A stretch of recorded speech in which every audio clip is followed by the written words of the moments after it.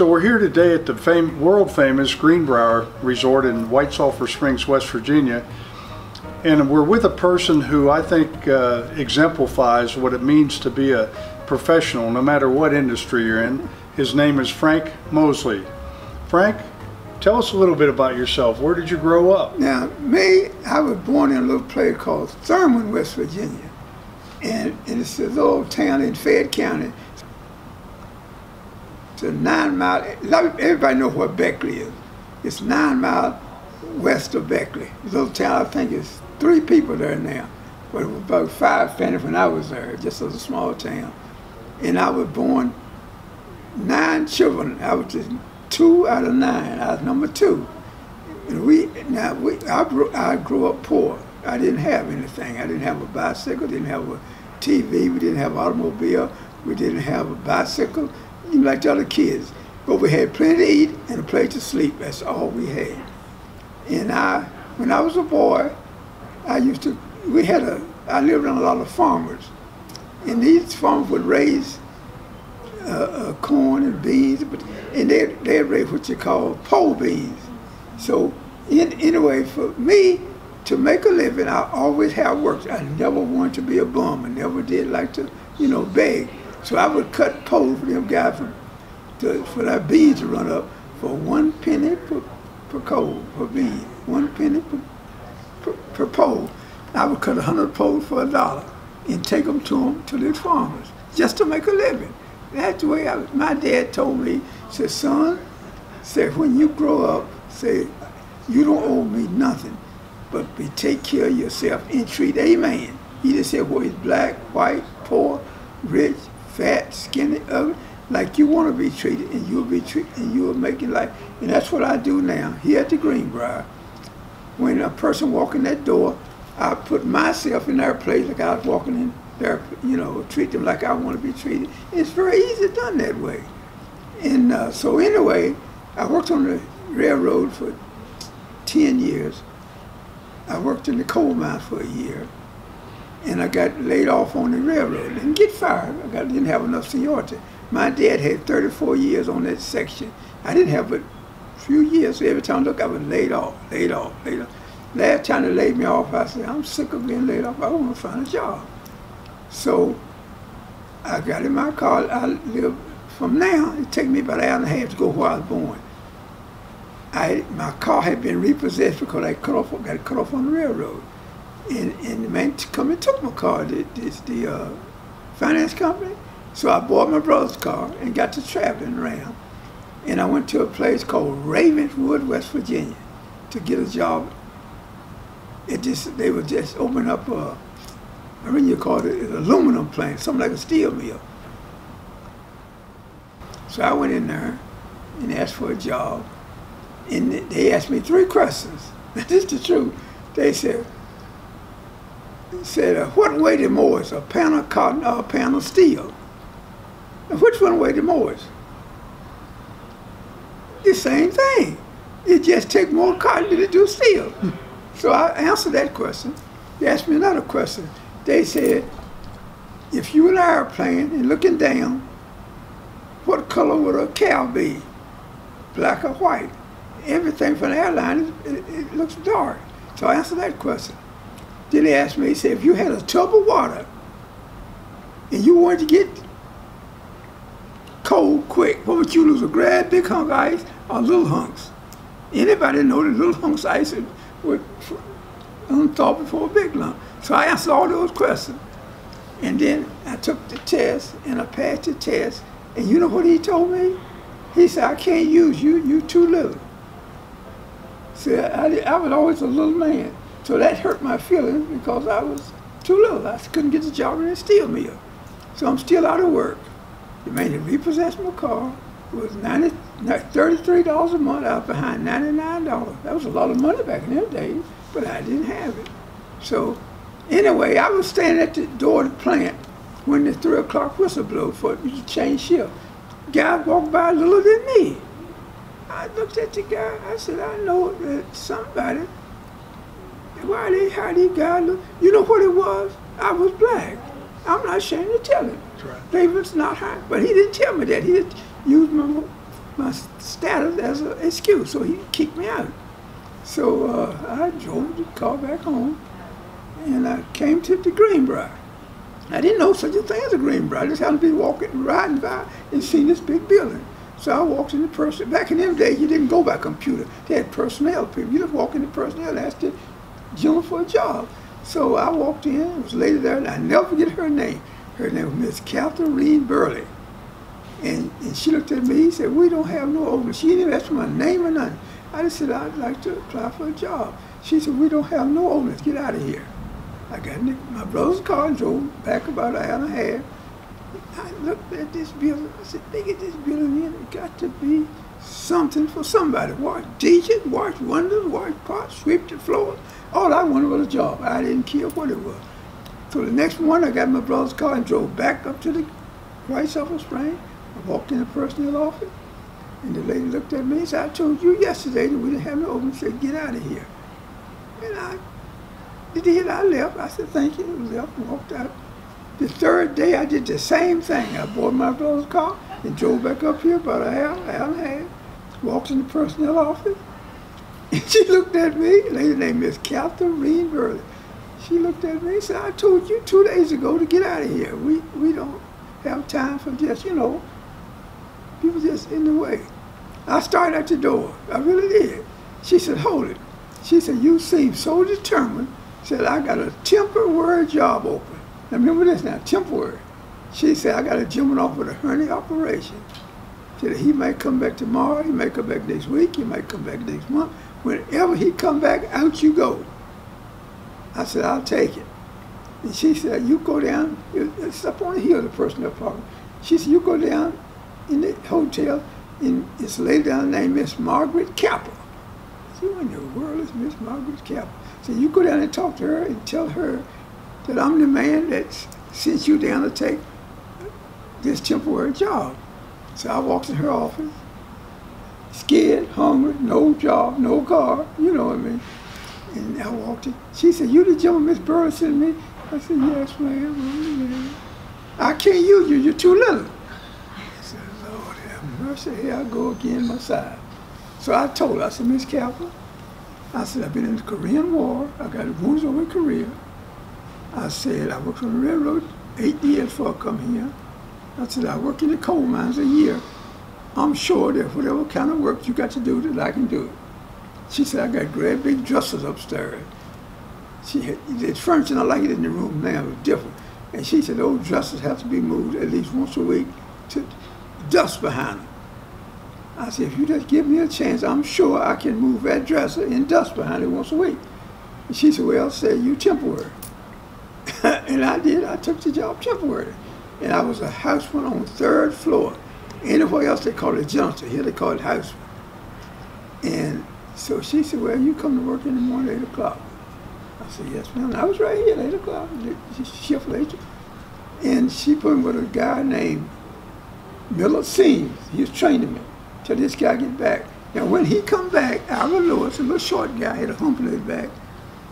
Didn't nobody tell me to leave. What was you doing? I just stayed. And I was here 50 some years temporary. That's the gospel truth. She didn't, didn't nobody tell me to leave.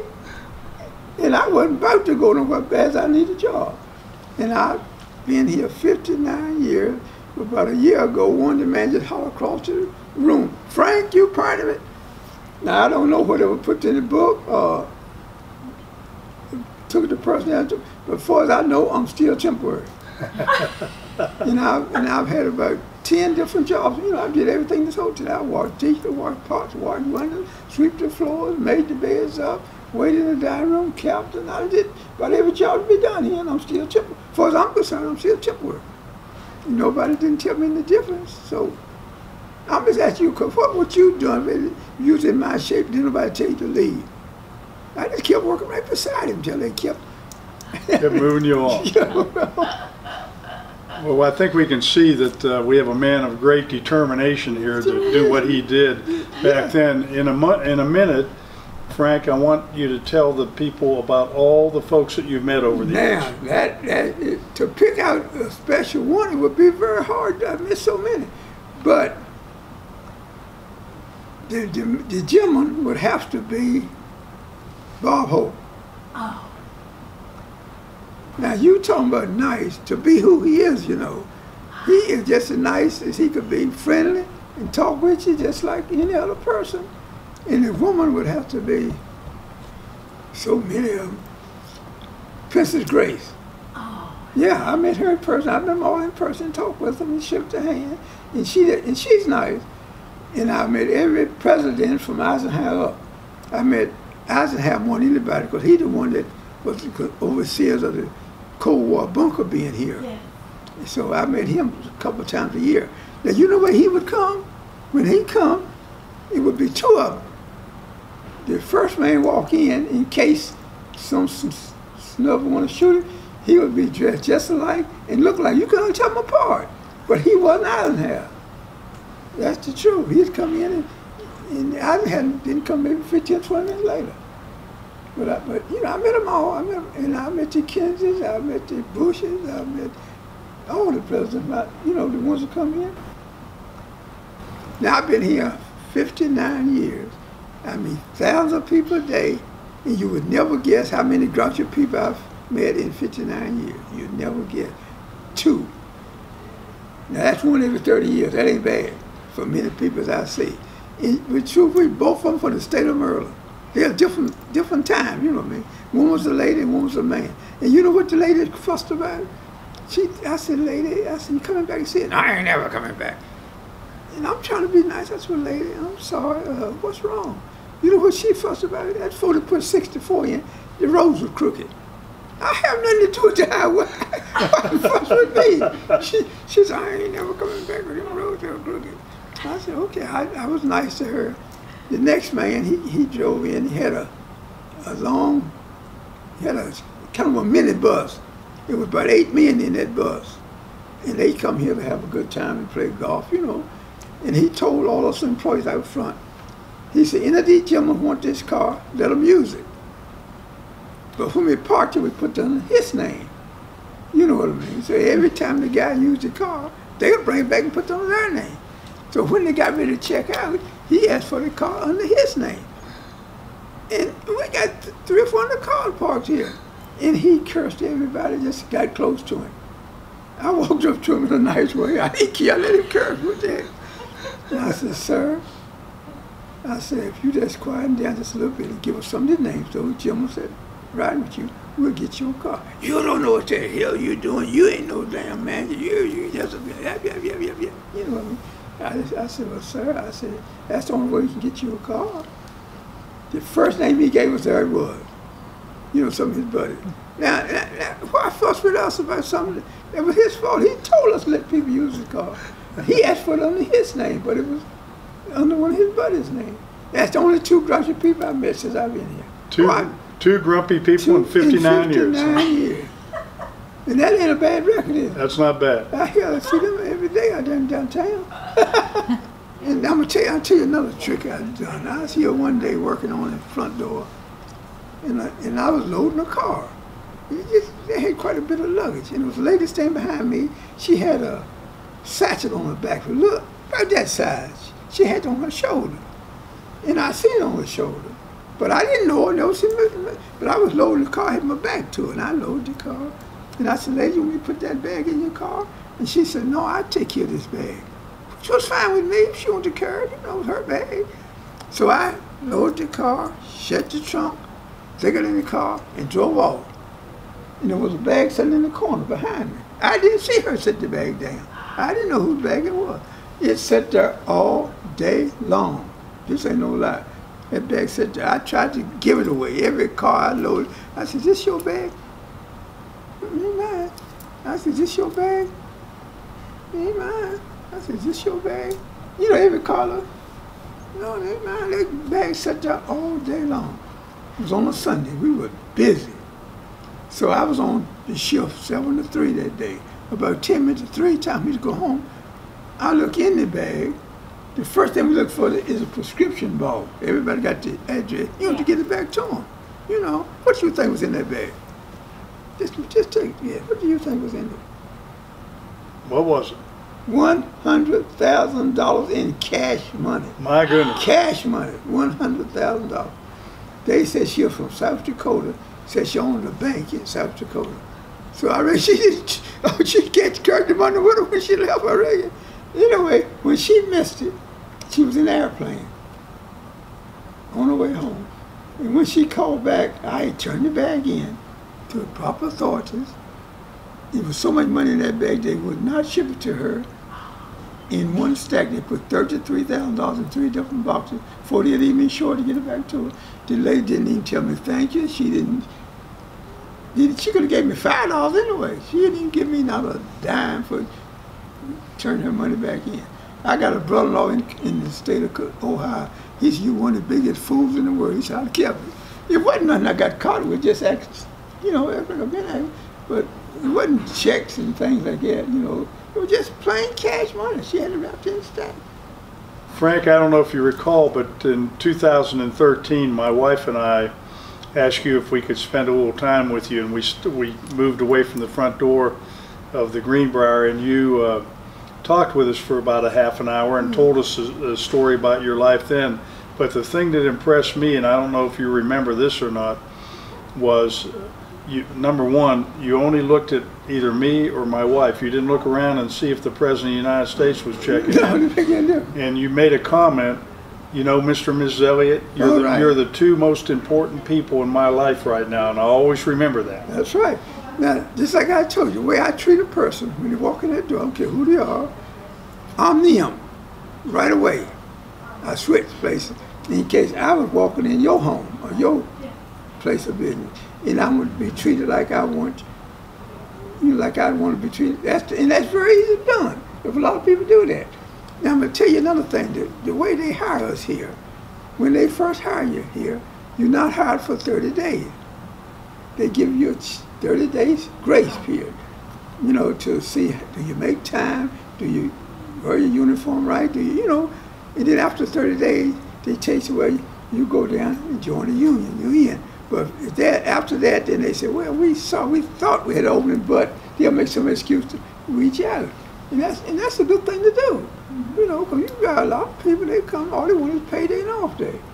But me, really, I just love my job. If they didn't need me, they never would have hired me. And I try to do the best I can. I try to give no problem whatsoever.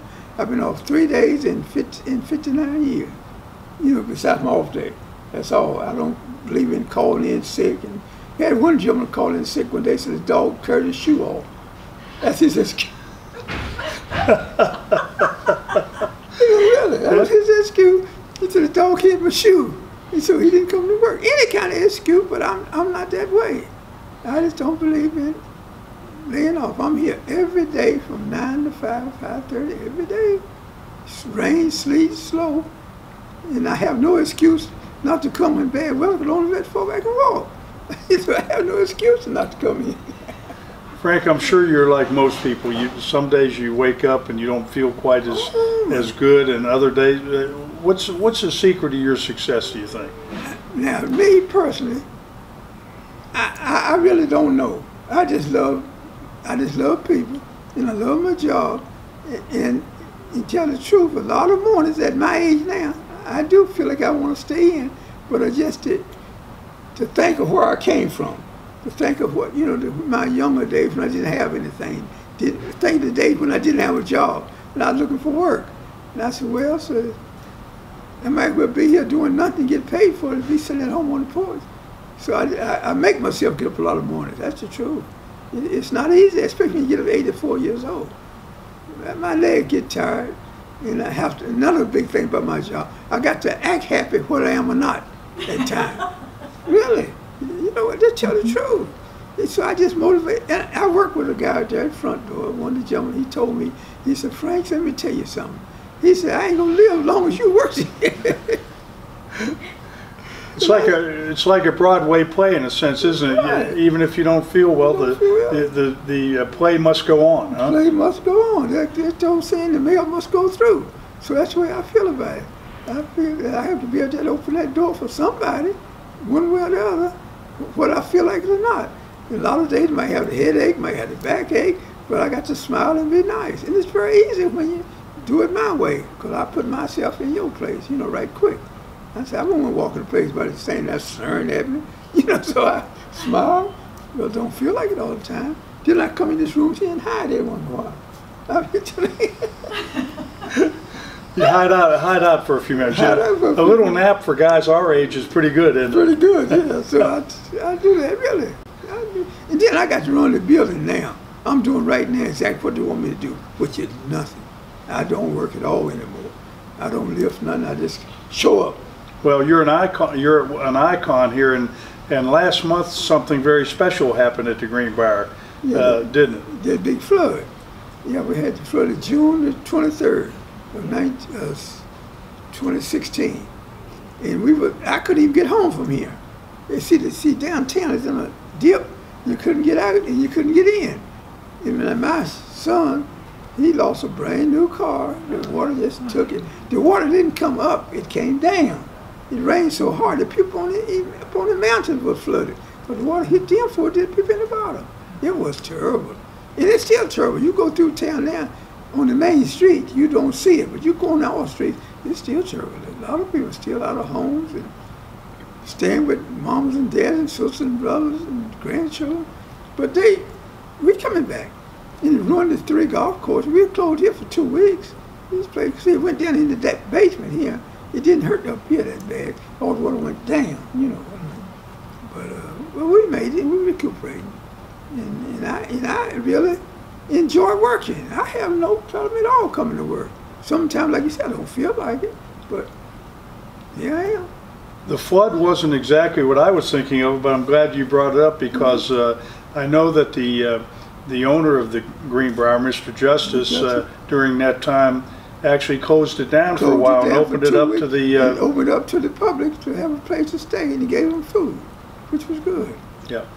But what I was thinking of last month, Frank, was something special here at the Greenbrier. They celebrated a special birthday. They celebrated my birthday. They combined my birthday and my seniority and gave me three days. They gave me April the 7th, April the 8th, and April the 9th. My birthday is April the 1st. So they took my birthday and my, my uh, anniversary is in May. So they gave me those three days. It was kind of slow business. They gave me those three days. And April the 8th, they really gave me a party. Oh, they gave me more than I deserved. I never would have thought that they'll do that much for me. They invite all my family. I didn't even know they was coming. They come from Ohio, Virginia, West Virginia, Indiana, Kentucky, Pennsylvania, New York, New Jersey, all my family. I didn't know they was coming. And I looked at so where y'all going? They said, Really? It was nice. It was really nice. They really. And they gave me, you know, just give give me the building. See, I'm the investor in the building anyway. This I just had the whole thing for three days. And it was nice. It was really nice. And and they not only invited your family in, They invited but the they, they sent emails out to Yeah. everybody that's ever been to the went to the Greenbrier Greenbrier, right. and said, come up and help us Help celebrate celebrate. Frank Mosley's birthday. First day. They did that, and they gave me three days. Several days now. Say, just this past, just a couple, about a month or so ago. Now you, t- only thing I, you know, only thing we're missing was you all. That's right. We wish we could have been here too. it was nice, and I really enjoyed it. And I still got some of the cake at home now. got to the freezer. So now you're, uh, as, if I understand it right, you're a temporary worker here. Do you think there, you'll ever get a permanent job? If I stay long enough, I might get a permanent job. But right now, I'm temporary. As far as I'm concerned, nobody have never told me I'm permanent. They didn't tell me, did nobody tell me to leave, and I need a job. I just kept staying. And I finally just kept transferring, you know. Mhm. See, when you transfer here, you get you keep your company seniority, but you're new in that department. You know, when you go to. So I started out new in the dining room and new in bus in the bus boy, new in the uh, washing dishes, new washing yeah, new. doing. I just some I done just about every job I had in this building. Mhm. But Well, Frank, I think anybody that watches this video in the future will see a couple things. They'll see a, a, a guy that has loved his work oh yeah, and he loves people. love But more importantly, he'll see a, a man who is still has great enthusiasm at the age of 84. Yeah, 84, yeah. A lot of people ask me, so when you gonna retire? You know what I tell them? I can't spell retire. So if I retire, I got to write retire on my resume. I can't spell it. So that's my excuse. Well, I can't thank you enough for spending time with us here today. Anytime. Now I might could write quit, but I can't re- write retire. I can't spell it. So that's that's my excuse. Frank, if you could sum up in, in, in, in a way, your, your, if you were telling the people watching what, what it means to be a professional in your mind, what, what comes to your mind? You're obviously a professional. Well, the first thing I would tell them, I tell the young people to come here, is do your job. If they wouldn't hired you if they need you, be on time, and and just don't give anybody any problems. That's the main thing. We got a lot of help here. Everything look today in the manager's office. This ain't that. That I don't want off there. I don't like this. Don't like. Just don't. Just do your work. Do what they hired you to do, and let the let the management take care of the problem. You, you, I can't solve no problems here. Best I can do is do my part and let the people that they hire do it. But a lot of people come, all they want is payday and off day. And that happens in the all business. I know from downtown, all they want is payday and off day. They don't care whether they have work or not. And it's not fair to the company. It's not fair. It show, it, it'll finally show up. Thank you, Frank. Appreciate it. That's, and, and I just love people. And, and the company's been good to me. I'll be sure they've been really. I have no no regrets whatsoever working here. None. Thank you so much for sharing this time, man. this time with us, That, that's what make my day. That's Well- what- see, if I hadn't come to work, we wouldn't get to meet you all. Well, you're, you're an inspiration and a blessing. Thank you, thank you, thank you. Thank and you all are blessed to come to visit us. We enjoy it. You're at home for a reason. It's your home. Absolutely.